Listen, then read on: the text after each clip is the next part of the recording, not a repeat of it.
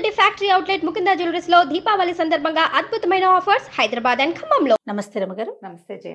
రమగారు మనము శివాలయాల గురించి మాట్లాడుకుంటున్నాం పురాతన ఆలయాల గురించి స్థల పురాణం గురించి.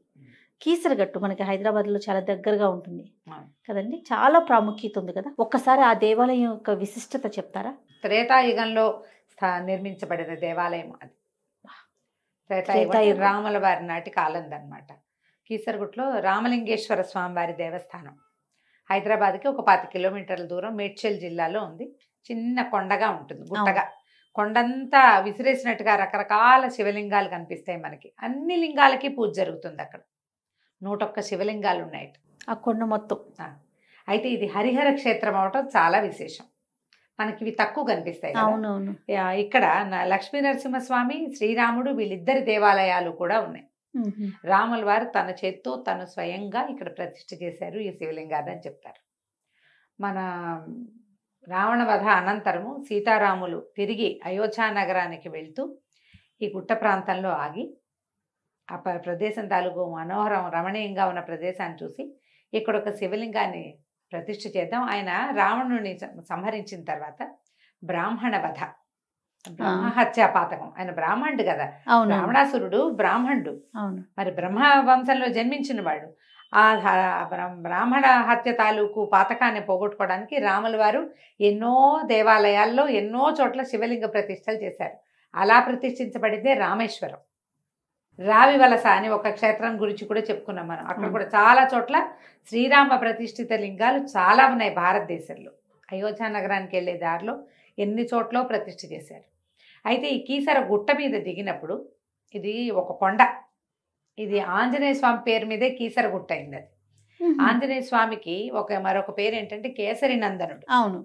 కేసరి నందనుడి మీద ఆ కేసరి మీద నుంచి కీసర వచ్చింది. అంతకుముందు ఆ ప్రాంతానికి ఏం పెద్ద పేరేం లేదు.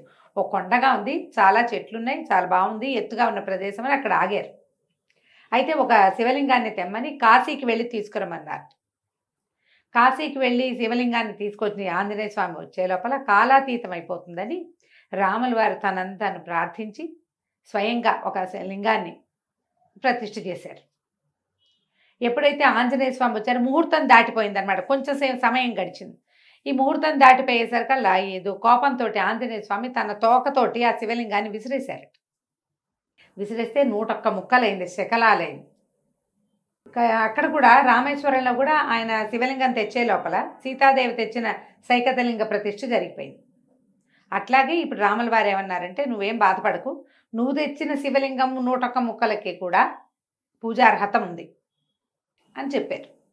అందుకని ఈ కీసరగుట్ట మీద అన్ని చోట్ల శివలింగాలు కనిపిస్తాయి. అవి మానవ ప్రతిష్ఠిత లింగాలు కాదని ఆ ముక్కలైన శివలింగమే ఒక్కొక్క లింగ రూపంగా ధరించిందని ఆంజనేయ స్వామి వారి తోక తగిలిన లింగాలు అవని చెప్తారు. అది విశేషం. అయితే ఇక్కడ రాముల వారికి ఒక దేవాలయం ఉంది. తర్వాత తర్వాత కాలంలో లక్ష్మీ నరసింహస్వామిని ప్రతిష్ఠించారు. కాకతీయుల కాలంలో ప్రతిష్ఠించబడింది బహుశా. ఈ రామాలయం ఎప్పటిది? త్రేతాయుగం నాటిది కదా ప్రతిష్ట తర్వాత కాలాల్లో రెండు సార్లు మూడు సార్లు నిర్మించబడింది. ఇప్పుడు మనం చూసేది కాకతీయుల కాలం నాటి దేవాలయము. చాలా విశేషంగా ఎత్తుగా కొండ మీద చుట్టూ అంతా రమణీయమైన ప్రదేశము. చాలా విశేషంగా కనిపిస్తుంది. శివ పంచాయతన సన్నిధి కూడా ఒకటి ఉంది. శివ పంచాయతన అంటే పంచాయతన విధి మధ్యలో శివలింగం. విష్ణువు అంబిక వినాయకుడు సూర్యుడు నలుగురు నాలుగు ఉంటారు నాలుగు పక్కల ఉంటారనమాట అట్లా శివ పంచాయతన ఆలయం కూడా ఉంది. అమ్మవారికి ఒక ప్రత్యేకమైన ఆలయం ఉంది. విశేషంగా కనపడుతుంది. హైదరాబాద్ ఊర్లో ఉన్న వాళ్ళు ఎలాగూ కీసరగుట్ట వెళ్తారు. అవును. హైదరాబాద్ ఎక్కడి నుంచైనా వచ్చి హైదరాబాద్లో ఆగితే ఇక్కడ ప్రత్యేకంగా చూడవలసిన దేవాలయాల్లో కీసర. కీసరగుట్ట ఒకటి. ఊరికి దగ్గరగా అంటే మరి దూరంగా ఏం లేదు. దగ్గరగా ఉన్నట్టే. యాదగిరి గుట్ట వెళ్ళేటప్పుడు కీసర గుట్ట కూడా మనం వెళ్ళొచ్చు. ఇక్కడ. ఏంటంటే కొండ వేరు గుట్ట వేరు. కొండంత పెద్దది కాదు గుట్ట. ఒక మాదిరి ఎత్తుగా ఉండేదన్నమాట.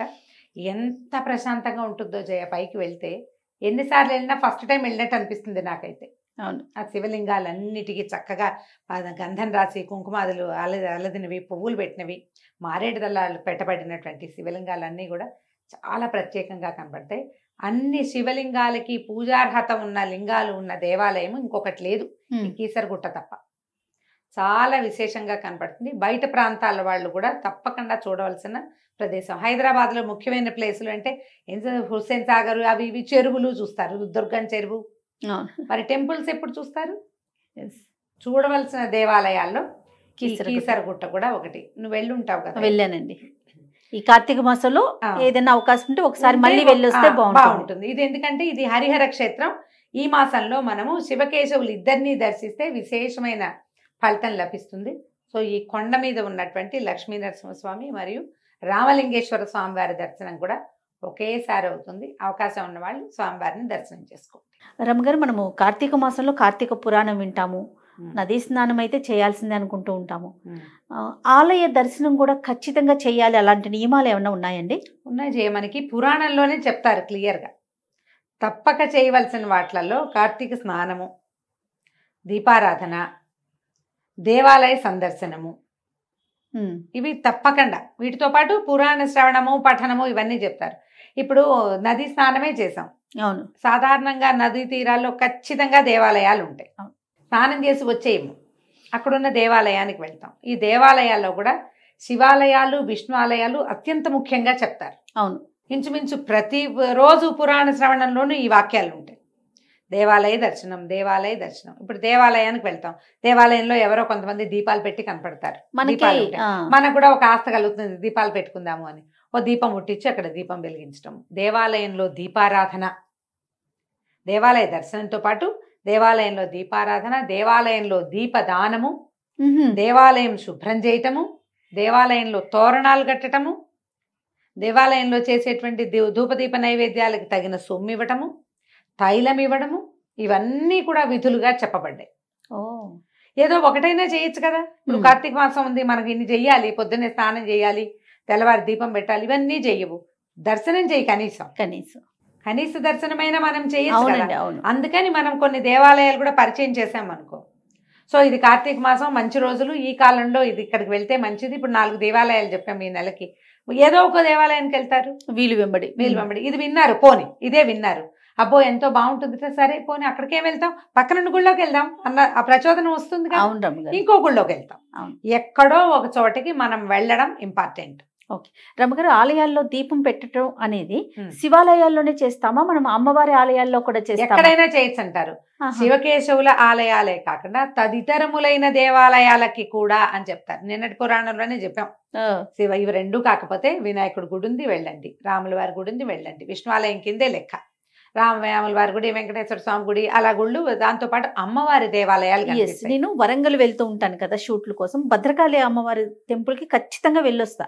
అక్కడ ప్రత్యేకించి దీపాలు పెడుతూ ఉంటారన్నమాట. పెట్టుకోవచ్చు. అది నాకు ఎప్పటి నుంచో మిమ్మల్ని అడుగుదాం అనుకున్నాను. రాహుకాల దీపం అయి ఉంటుంది అక్కడ పెట్టేది. బహుశా. బహుశా. అమ్మవారి దేవాలయంలో దీపారాధన చేయటమే అది పొద్దున మధ్యాహ్నమా సాయంత్రమా రాత్ర లెక్కే లేదు అసలు. ఈ కాలంలో మనం షణ్ముఖ ఆలయంలో గాని కనీసం ఒక గ్రామ దేవత ఆలయం ఉంది మన ఏరియాలో. అక్కడైనా. అక్కడైనా సరే ఆ దేవాలయంలో మనం వెలిగించిన జ్యోతి వెలగటమే మనకు మంచిది. అద్భుతమేమో. ఇప్పుడు ఈ కీసరగుట్ట లాంటివి ప్రఖ్యాతమైనవి పురాతనమైనవి భగవంతుడితోటి ప్రతిష్ఠ చేయబడినవి ఋషీశ్వరులు మునీశ్వరులు వాళ్ళు వీళ్ళు ప్రతిష్ఠ చేసినవి అవి ఇంకా పరమోత్కృష్టమైనవి కదా. వారు పూజించిన చోట అంటే మామూలుగానే దేవాలయం అంటే ఎనర్జీ బ్యాంక్. అదే కదా. ఇంకా ఉత్కృష్టమైన ఎనర్జీ ఉంటుంది. అలాంటి చోట్ల ఒక దీప రాములు వారే స్వయాన చేశారు కదా. చేశారంటే, చేసిన చోట చేశారంటే? మనం అక్కడ దీపం పెట్టడం వల్ల మరింత ప్రయోజనం ఇతోధికంగా లభిస్తుంది మంచిది. దేవాలయ దర్శనం తప్పకుండా ఉంది. కార్తీక మాస విధులలో దేవాలయ దర్శనం మస్ట్ అంటుడు ఇప్పుడు నేను అదే చెప్తున్నా నేను ఇది చెప్తాను. అంతకెళ్ళలేకపోతే పక్కనున్న శివాలయానికి వెళ్ళు అది. ఇక్కడికే కాదు. ఎక్కడికో ఒక చోట. అందుకని మనం ఇవి చెప్తాం ఇన్ని రకాల విధులు. ఏది కుదిరితే అది చేస్తారని. అది. తప్పకుండా రమ్మగారు. నమస్తే. నమస్తే.